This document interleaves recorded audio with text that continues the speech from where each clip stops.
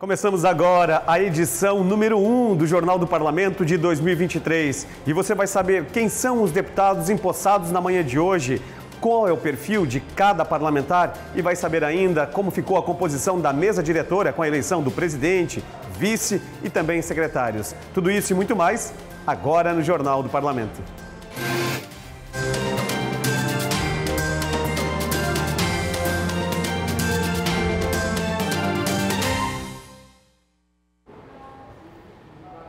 Muito boa tarde para você. Começa fevereiro e começa também o Jornal do Parlamento de 2023. E essa edição iniciamos de uma forma diferente com um cenário também diferente. Ao fundo, o plenário da Assembleia Legislativa, onde hoje pela manhã você acompanhou a movimentação da posse dos novos deputados. Aliás, tem renovação, cerca de 40%. E é sobre isso que você vai acompanhar agora na reportagem. Os 40 deputados estaduais eleitos são Ana Campanholo, do PL, com 196.571 votos, um recorde de votação na história da Assembleia Legislativa.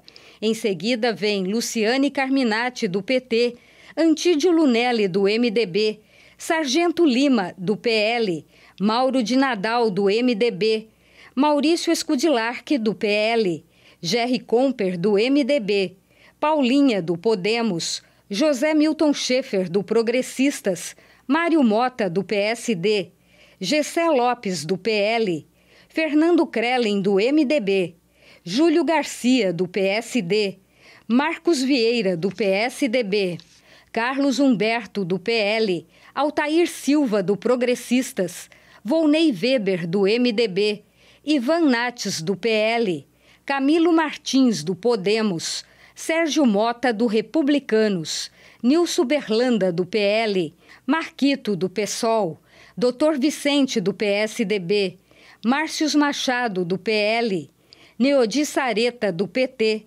Napoleão Bernardes, do PSD, Fabiano da Luz, do PT, Delegado Egídio Ferrari, do PTB, Tiago Zilli, do MDB, Jair Mioto, do União Brasil, Edson Massoco, do PL, Pepe Colasso, do Progressistas, Rodrigo Minotto, do PDT, repórter Sérgio Guimarães, do União Brasil, Oscar Gutz, do PL, Padre Pedro, do PT, Marcos da Rosa, do União Brasil, Sorato, do PL, Lucas Neves, do Podemos, Matheus Cadorim, do Partido Novo. Com este resultado, a maior bancada da Assembleia Legislativa é a do PL, com 11 deputados, seguido pelo MDB, com seis vagas. Na sequência, vem o PT com quatro parlamentares. O Podemos, o PSD, o União Brasil e o Progressistas conquistaram três vagas cada.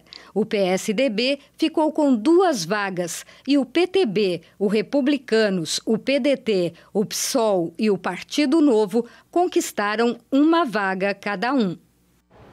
E neste cenário de composição do parlamento catarinense, dos novos deputados eleitos, alguns reeleitos, a gente também traça um perfil de cada parlamentar que assume a partir de hoje uma vaga na Assembleia Legislativa.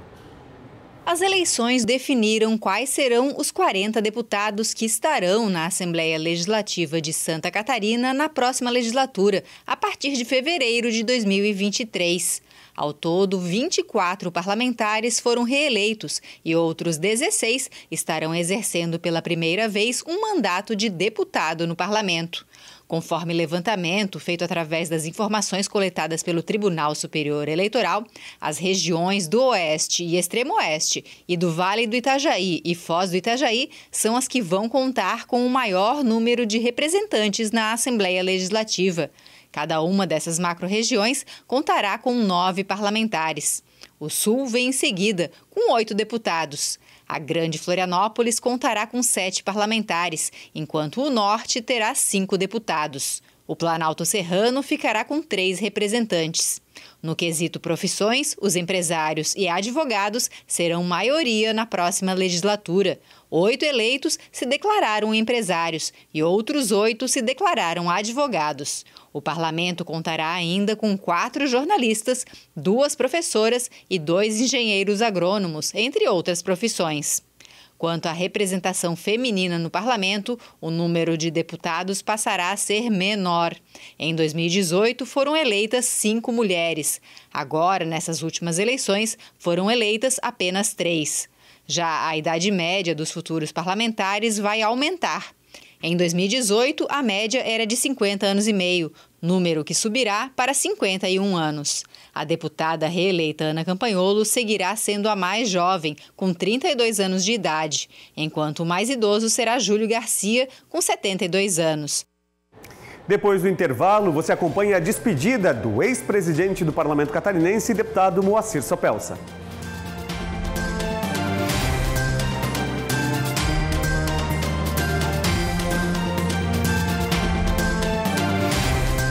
Já estamos de volta com o Jornal do Parlamento.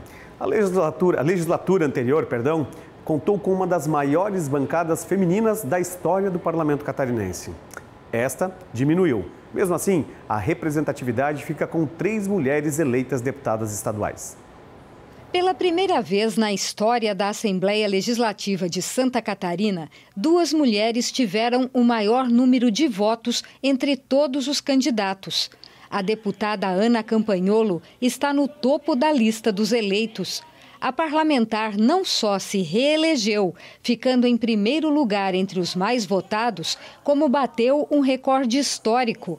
Conquistou 196.571 votos. Nunca na história do parlamento catarinense um outro candidato conseguiu este desempenho. O recorde anterior era do ex-deputado estadual Gelson Merizio, que em 2014 fez 119.280 votos. A lista dos mais votados segue com a deputada Luciane Carminati em segundo lugar. A parlamentar se reelegeu com 92.478 votos. Até então, ela mantinha o título de mulher mais votada da história da Assembleia, quando em 2018 conquistou 61.271 votos. Desta vez, Luciane teve melhor desempenho, conquistou 31 mil votos a mais que nas eleições anteriores. Mas quem são essas mulheres que angariaram tantos votos? Ana Campanholo tem 31 anos. Foi eleita pela primeira vez em 2018 com 34.825 votos. É considerada a única mulher conservadora no parlamento de Santa Catarina. Natural de Itajaí, é professora e historiadora. Exerceu o magistério na rede pública de ensino por quase 10 anos. Atualmente é mentora em grupos de estudo online, entre eles o Clube Antifeminista. É autora de livros contrários ao movimento feminista e também tem uma publicação em defesa do ensino domiciliar, conhecido como homeschooling. Luciane Carminati está no terceiro mandato como deputada estadual. Natural de Chapecó, tem 52 anos. Professora formada em pedagogia, a parlamentar é presidente da Comissão de Educação, Cultura e Desporto. Antes de chegar ao parlamento em 2011, foi vereadora em Chapecó por dois mandatos e secretária municipal de Educação defende a educação pública, os direitos das mulheres e da classe trabalhadora, a cultura, a economia solidária e a assistência social. Além de Ana Campanholo e Luciane Carminati, apenas mais uma mulher se elegeu para a Assembleia Legislativa. Paulinha chega ao segundo mandato com 58.694 votos, o oitavo melhor desempenho nas urnas entre os candidatos ao parlamento catarinense. Natural de Florianópolis, a parlamentar de 47 anos iniciou a trajetória política aos 13 anos de idade em movimentos sociais e estudantis. Foi dirigente partidária e ocupou a Diretoria Nacional de Qualificação no Ministério do Trabalho e Emprego do Governo Federal, onde atuou por três anos. Trabalhou na construção do Pronatec, um programa de qualificação profissional do Brasil. Paulinha também foi assessora especial da Secretaria de Administração do Rio de Janeiro e foi vereadora e prefeita de Bombinhas, alcançando 72% dos votos para o segundo mandato. A parlamentar também luta pela educação e criou a primeira escola pública bilíngue de Santa Catarina. Apesar do bom desempenho das deputadas reeleitas, a participação feminina no parlamento catarinense será menor que na atual legislatura. Depois da conquista histórica de 2018, quando pela primeira vez cinco mulheres garantiram vagas no parlamento, a Assembleia Legislativa volta a ter apenas três mulheres no Poder Legislativo Estadual. Duas das atuais deputadas, Ada De Luca e Marlene Fengler, tentaram a eleição para a Câmara Federal.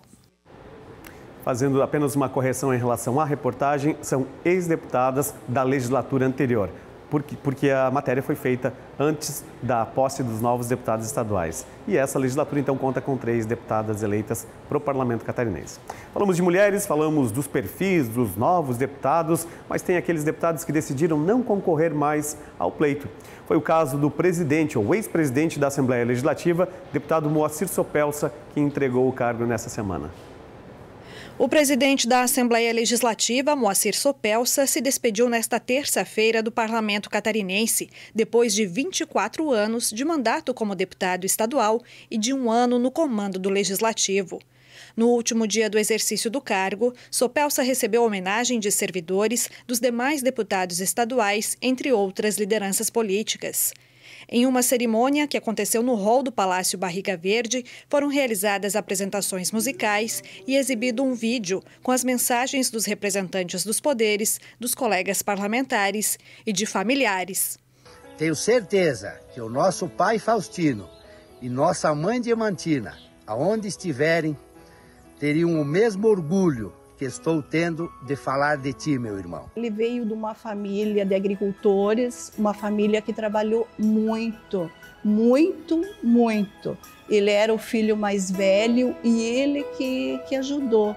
Então eu acho ele, ele é uma pessoa muito forte, muito digna, as coisas são muito certas com ele. No discurso de despedida, Moacir Sopelsa agradeceu o carinho de todas as pessoas que participam da sua trajetória política e reforçou que vai manter a conduta de ser amigo e de respeitar as pessoas.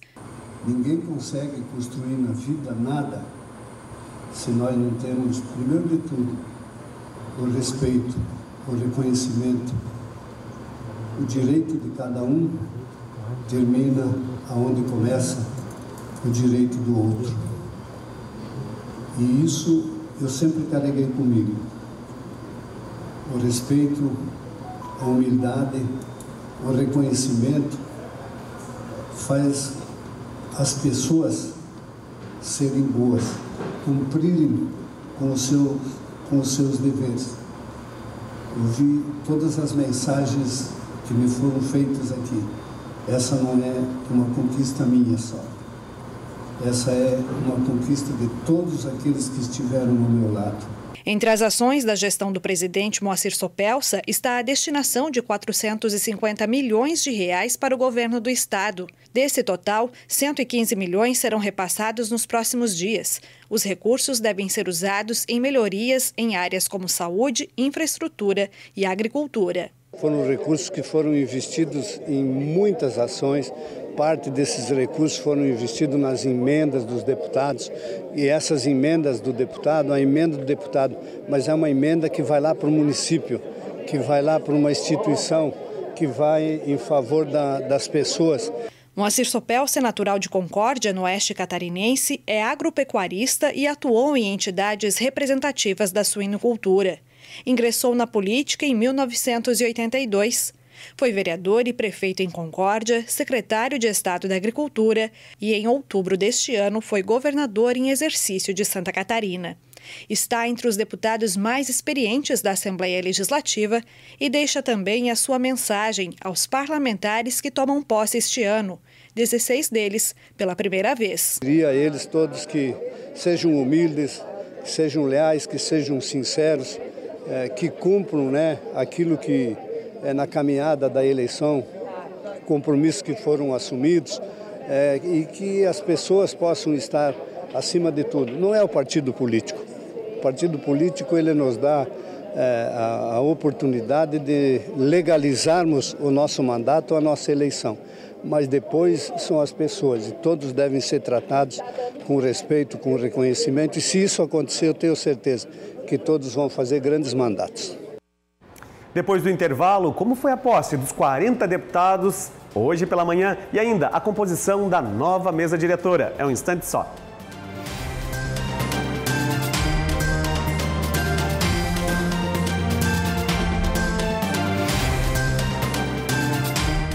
De volta com o Jornal do Parlamento, hoje foi um dia de festa para a Assembleia Legislativa e para todos os mais de 7 milhões de catarinenses. Isso porque os 40 representantes da população estadual tomaram posse aqui na Assembleia Legislativa, mais precisamente aqui no plenário ao fundo. Pois é, e é sobre isso que nós vamos acompanhar um pouco agora, saber como foi essa cerimônia de posse na manhã de hoje.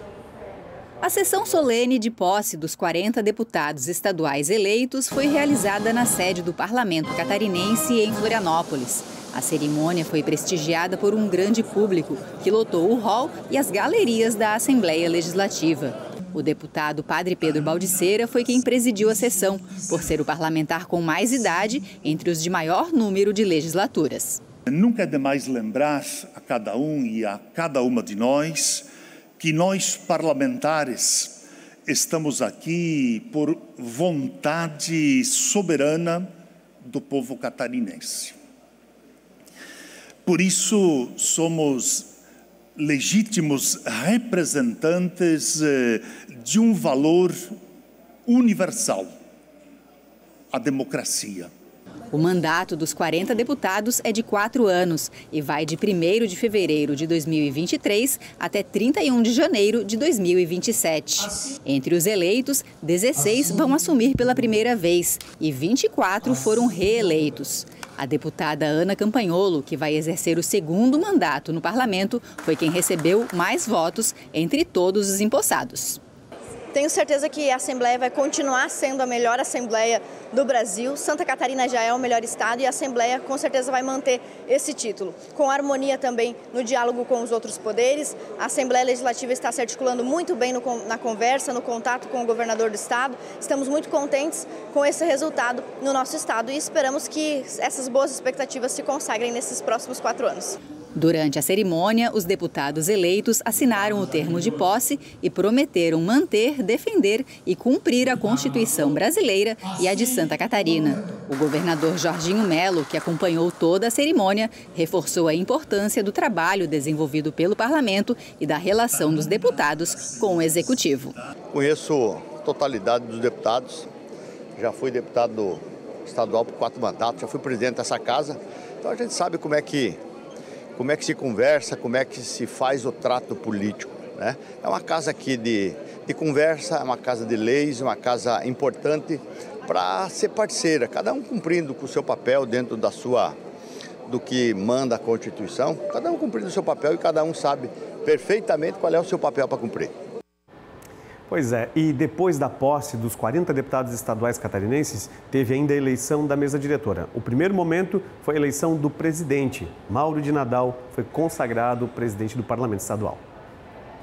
A eleição para presidente da Assembleia Legislativa foi realizada logo após a cerimônia de posse dos 40 deputados eleitos. O parlamentar mais antigo e com maior número de legislaturas, deputado Padre Pedro Baldiceira, presidiu a primeira sessão preparatória da vigésima legislatura do Parlamento Catarinense tendo como secretários os dois outros deputados com maior número de legislaturas, Marcos Vieira e Júlio Garcia. Por meio de um acordo prévio, foi registrada apenas uma candidatura para o cargo, a do deputado Mauro de Nadal, do MDB. O primeiro a votar foi o presidente da sessão. A votação é nominal. Cada parlamentar se dirigiu ao microfone de aparte para declarar o voto. Os votos foram computados pelo deputado Júlio Garcia e, em seguida, o deputado Padre Pedro Baldiceira fez a leitura do boletim com o resultado da votação. O deputado Mauro de Nadal foi eleito com 38 votos. Os deputados Ana Campanholo e Sargento Lima não votaram no parlamentar. Logo em seguida, o deputado Mauro de Nadal ocupou o assento da presidência e se pronunciou, destacando a construção de uma candidatura única para a harmonia e independência do parlamento. Que todos nós estejamos irmanados para construir uma Santa Catarina melhor, para honrar e orgulhar o voto de cada um e cada uma, que conferiram a nós o mandato e a responsabilidade de fazer um trabalho de excelência por eles e pelo nosso Estado catarinense. Nesta linha, quero convidar a todos para que juntos sejamos capazes de construir uma grande legislatura. O deputado Mauro de Nadal tem 51 anos e é natural de Caibi, oeste de Santa Catarina. É casado e tem duas filhas. Esta é a segunda vez que o parlamentar assume o comando do parlamento estadual. O primeiro mandato como presidente foi de um ano em 2021. Mauro de Nadal é formado em Direito, cursou a Escola da Magistratura e tem especialização em Gestão Pública. Foi prefeito de Cunha Porã, no extremo oeste catarinense, por dois mandatos consecutivos. No primeiro, tinha 27 anos. Está no terceiro mandato na Assembleia Legislativa. O parlamentar deve permanecer por dois anos à frente do Poder Legislativo Estadual. E após a eleição do presidente da Assembleia Legislativa, ele veio até a sala de imprensa, onde, numa coletiva, conversou com profissionais da área de comunicação. Acompanhe. A primeira entrevista coletiva do novo presidente da Assembleia Legislativa de Santa Catarina, deputado Mauro de Nadal, foi realizada na sala de imprensa do parlamento, logo após a definição da nova mesa diretora da casa. Nadal respondeu perguntas de jornalistas de vários veículos de comunicação. Falou sobre as conversas realizadas com parlamentares e bancadas para chegar ao consenso na eleição da mesa. E também falou sobre quais devem ser as prioridades daqui para frente. Primeiramente, é nós fazermos uma análise de todos os projetos que aqui estão na casa, né? é, chamarmos é, todos os nossos partidos através dos seus líderes para discutirmos aquilo que é o interessante para o parlamento na sua organização interna, é, proporcionando a todos os deputados brilho na atividade do seu dia a dia. Então esse é o foco neste início, né? Nós temos que é, fazer os ajustes necessários para que todo deputado possa exercer na plenitude o seu mandato. Então os primeiros movimentos aqui na casa vai ser justamente na organização interna do parlamento e na participação efetiva de todos os deputados nesta belíssima construção que faremos nesses dois anos. O novo presidente falou ainda sobre as definições acerca do comando das várias comissões do parlamento, incluindo as comissões de Finanças e de Constituição e Justiça. Todas as comissões aqui da casa são importantíssimas. É claro que algumas são mais disputadas é, pelas bancadas. Tá? É, o que nós temos hoje é, é, um processo de encaminhamento, mas não um processo de nomes. Então já vieram interesses em participar dessas comissões de vários partidos. O que vai valer de agora para frente é fazer este encaminhamento e este acerto entre todos os, os deputados com suas bancadas para que todos possam ter oportunidades de trabalharem, de exercerem o seu mandato através das comissões e nós temos uma composição que satisfaça a vontade de todas as, todas as bancadas aqui da casa. Mauro de Nadal também foi questionado sobre a reforma administrativa que o governador Jorginho Melo pretende fazer, inclusive com mudanças na estrutura das secretarias de Estado. Não temos nenhum encaminhamento, nenhuma sinalização oficial por parte do governador eh, Jorginho Melo, mas a casa, eh, já através de conversas com os colegas deputados, já tem um entendimento de que este é o momento para é, convalidarmos aquilo que foi a proposta que fez com que Jorginho Melo fosse o vitorioso. Então esse o momento, é o momento dele.